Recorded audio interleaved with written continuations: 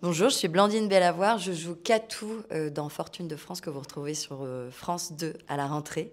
Et je partage l'affiche notamment avec Grégory Fitoussi. Bonjour, je suis Grégory Fitoussi et je joue le baron de Fontenac dans Fortune de France à retrouver sur Luby en série.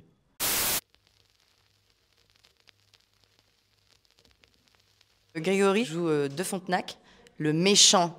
C'est bien. Oui, moi j'aime bien mettre des guillemets, ça veut, ça veut pas dire grand chose, mais, le méchant, par rapport à l'histoire qu'on raconte du personnage de Jean de Siorac qui est joué par Nicolas Divauchel, je suis son antagoniste et son némésis. Donc forcément, mon personnage est, ancré dans son époque. Et voilà, il a un rapport à l'éducation, à la violence euh, qui, est très particulière et qui est très euh, ancré dans l'environnement dans lequel il vit. Mon, mon personnage, je l'ai un peu construit comme quelqu'un de frustré, en colère et avec une certaine part de jalousie envers son, antagoniste qui est Jean de Siorac, qui lui a des fils. À l'époque, on sait l'importance d'avoir un fils pour pouvoir transmettre et, et léguer, etc.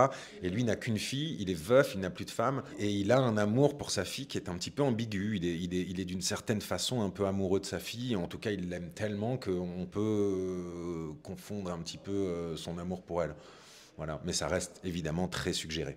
Alors, mon personnage, qui est Katou Euh, ben, Elle amène une forme de fraîcheur, je dirais, par exemple, avec ton, pour contrebalancer avec ton personnage, puisqu'on a un, personnage féminin euh, qui n'est pas issu de la haute, euh, de l'aristocratie, mais qui, qui a toujours baigné dedans, puisqu'elle est à, à leur service.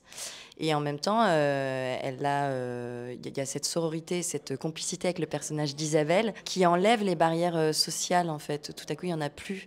Elles viennent euh, d'un même endroit, elles ont grandi dans un château, elles, se disent tout. Et en même temps, il y en a une qui a appris à lire et à coudre et à jouer d'un instrument, et, l'autre euh, qui est là pour que toutes ces activités de sa ch- chère amie euh, se passent bien.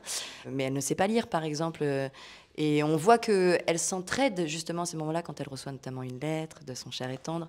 Je me rends compte en tout cas que mon personnage amène cette innocence, ce truc de pas savoir vraiment quel est le contexte. Et c'est pas grave parce que son contexte à elle, pour le coup, il n'est pas à l'extérieur du château. Il est vraiment euh, tout se passe en interne. Elle, elle fait confiance euh, à son au Seigneur qui est au-dessus d'elle, qui va prendre soin d'elle. Donc on est là dans leur quotidien. C'est ça que j'aimais bien avec ce personnage aussi, c'est de montrer pas que des scènes de chevalerie justement. C'est le quotidien, euh, le lavage de dents, les soins aux gens, aux enfants, euh, la tendresse aussi qu'il y a entre euh, tous. Et c'est ce que j'ai beaucoup aimé à l'écriture déjà. Même avec ton personnage où tu joues le méchant, oui, il y a une ambiguïté avec ta fille, mais il y a, une forme de tendresse et c'est ce qui donne un peu d'humanité à ton personnage, alors que pourtant, c'est une masculinité qui s'exprime sans, sans empathie, sans modernité peut-être. Moi, il y a moins de masculinité chez mon personnage, par exemple. On est plus sur une, ten- une tendresse, euh, tendresse à 90%, je dirais, dans mon personnage. Mais moi, j'ai pas construit son, son caractère euh, en rapport aux femmes. J'ai construit son, son caractère en rapport, à, à- encore une fois, à la violence, à la violence D'une époque. d'une époque, quoi. Et euh, et il y avait une espèce de, en tout cas, c'est comme ça que j'ai perçu les choses. Je sais pas si c'est la réalité parce que j'y étais pas, mais mais mais il y avait une espèce de normalité quand quelqu'un faisait une connerie sur le domaine, on le punissait à coups de fouet et puis c'était comme ça. Et puis il fallait réunir tout le monde pour que tout le monde voit ce qui se passait, pour que ce soit une espèce de leçon. euh, d'éducation.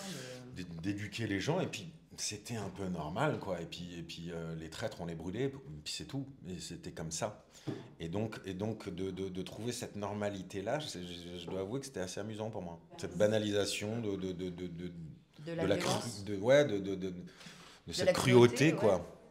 Comme seul mode de, de survie, de Ouais. vie, en fait. Mm.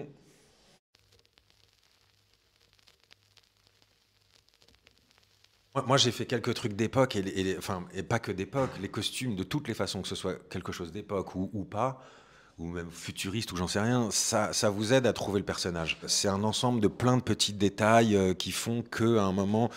Moi, en l'occurrence, pour l'anecdote, ce, personnage-là, j'ai eu beaucoup de mal au début quand été au costume et que j'ai commencé à mettre ces pantalons bouffants comme ça, avec au-dessus du genou et tout. Et j'en ai parlé avec les costumières et je leur disais, je n'arrive pas à trouver l'aisance là-dedans, je n'arrivais pas à marcher naturellement, j'arrivais pas à trouver comment ce mec-là pouvait s'habiller tous les jours là-dedans et être à l'aise là-dedans et ne pas y penser. Et donc j'ai insisté pour les porter beaucoup, pour les porter longtemps et, et- et voilà, pour, pour d'un seul coup.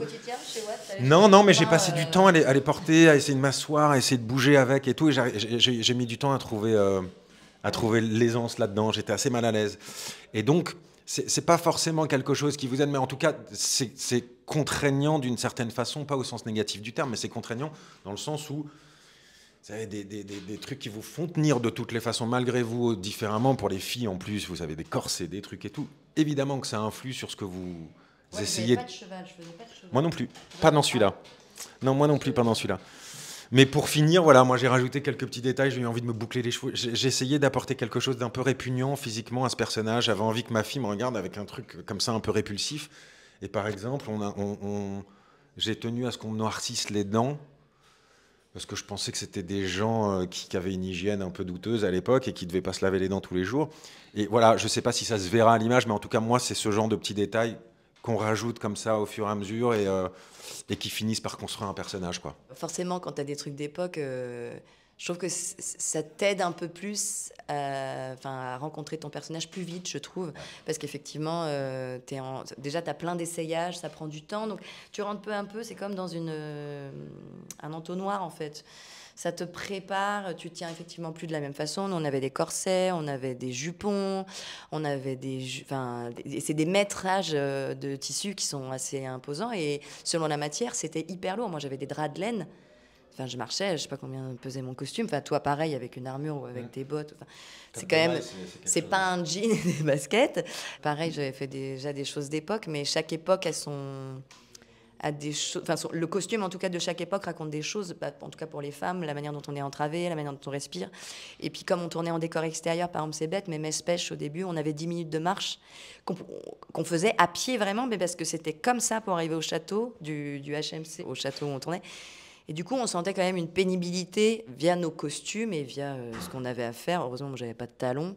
Et en fait, tout ça, oui, nous, nous, nous, aide à nous mettre dans nos personnages. Euh, mais ça et les décors aussi, euh, effectivement, on se tient pas de la même façon que dans la vie, quoi. Ça contribue à la narration. ouais. Moi, mon personnage, par exemple, a des velours rouges et des trucs. C'est quelqu'un d'assez excentrique et de très coloré par rapport aux autres personnages. Et donc, forcément, ça raconte ce seigneur féodal qui se prend un peu pour un autre et qui qui arrive un peu comme un, presque comme un mafieux dans son village, un chef de village comme ça, avec euh, droit de cuissage sur un peu tout le monde. Ça, aide à raconter l'histoire, quoi, tout simplement ce qui est chouette dans ce que tu racontes aussi, c'est que c'est quand tu travailles sur un personnage, oui, les costumes interviennent, tout ça, mais la chef costumière aussi, Nathalie, euh, elle nous propose des choses et en fonction déjà de nos carnations, nos cheveux, tout ça, des choses qui vont évidemment bien nous aller euh, et en fonction des personnages qu'on a et de ce qu'ils peuvent porter. Moi, j'avais pas non plus beaucoup de toilettes parce que par exemple Isabelle de Surac, elle en avait plein, c'était du sur-mesure, mais ça raconte aussi euh, les personnages. Moi, il y avait des choses de briquet de broc, même s'il y a des choses qui ont été faites sur mesure, mais c'était important aussi. Toi, tu parlais des dents noircies. Mm. Nous, on avait des accessoires. Bah, déjà, on a moins de costumes.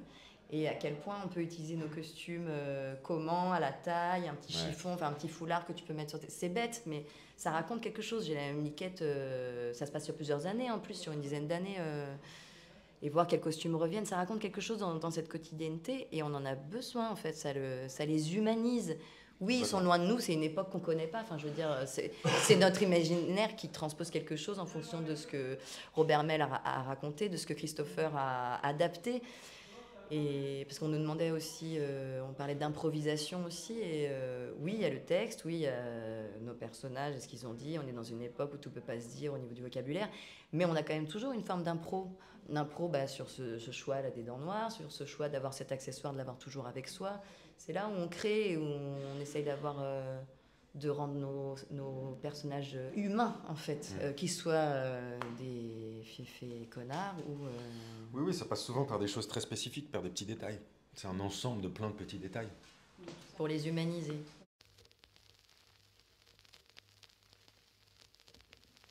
retiennent, je sais pas, mais qu'ils soient touchés. Non, j'ai l'impression que la série aborde des thèmes qui, qui, font évidemment énormément écho à notre époque, que ce soit les guerres de religion, que ce soit les couples avec des convictions religieuses différentes, que ce soit l'éducation d'un père à son fils ou d'un père à sa fille, euh, la famille, tout ça dans, des, dans, dans, un environnement de guerre et de violence. Enfin, voilà, j'ai l'impression que tout le monde peut s'y retrouver à un endroit et, euh, et d'être touché et d'être emporté par cette histoire. Après, euh, voilà, ça, ça serait déjà pas mal ce que j'aime beaucoup, euh, c'est qu'il y a un, truc très choral en fait. Euh, a plein de, tranches d'âge euh, différentes. Je pense que n'importe qui peut s'identifier, mais c'est même pas forcément euh, bah, je suis spectateur et je suis une femme, euh, j'ai 45 ans, je vais pas forcément m'identifier qu'à un personnage parce qu'il y a de l'humanité dans chacun Mm. de, de- de nous. On n'est pas, enfin je veux dire, on ne devient pas un monstre euh, comme ça du jour au lendemain. Donc c'est- intéressant de voir les parcours de chacun. Et je pense que tout le monde peut y trouver de, quelque chose qui leur ressemble en fait. C'est pas parce qu'on est si loin euh, de cette époque-là que, que ce qui les traverse, les questionnements qu'ils ont, sont très loin de nous en fait. Ce sont les mêmes. Mm. Et ça, c'est peut-être pas juste Robert Merle qui l'a écrit dans ses livres, c'est pas Christopher Thompson qui l'a amené. Oui, lui, il a voulu amener euh, peut-être plus de profondeur certains personnages, notamment féminins, qui n'étaient pas traités. C'est de l'humanité, j'espère, et puis de, ça amènera, j'espère, de la discussion aussi, euh, parce que je crois que la série euh, se veut aussi être un, programme pour, pour tous, un programme à partager, en fait. euh, et c'est- rare de pouvoir se retrouver aujourd'hui, euh, parce que tout le monde a tellement de médias chez soi, que chacun peut regarder son programme dans son coin, mais partager quelque chose, j'espère que ce sera un lieu, de rendez-vous. Et puis pourquoi pas, il y a aussi une certaine part de pédagogie aussi dans, dans, dans, cette histoire, parce qu'on raconte quand même euh, une, une époque qui n'est pas forcément la plus connue, et, euh, et, euh, et voilà, peut-être que les gens apprendront aussi quelque chose sur cette époque de notre, de notre pays.